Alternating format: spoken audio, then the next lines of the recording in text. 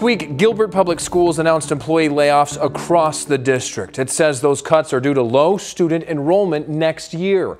Emma Lockhart has more on the decision and reaction from one Gilbert teacher who's devastated by the news. Tonight, some Gilbert teachers blindsided after Gilbert Public Schools announced layoffs this week.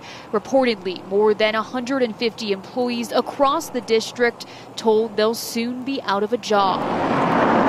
We spoke with one Gilbert teacher who wanted to remain anonymous out of fear of retaliation. It's just like, boom, there you're done, you're gone. Like, what?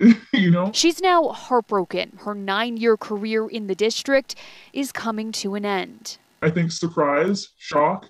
Um, I was wondering who else in my department might have been cut too because no, you know, there wasn't any warning. In an email sent to staff, the district saying, quote, Gilbert Public Schools, along with many other school districts, faced a reduced number of students going into the next school year following the global pandemic.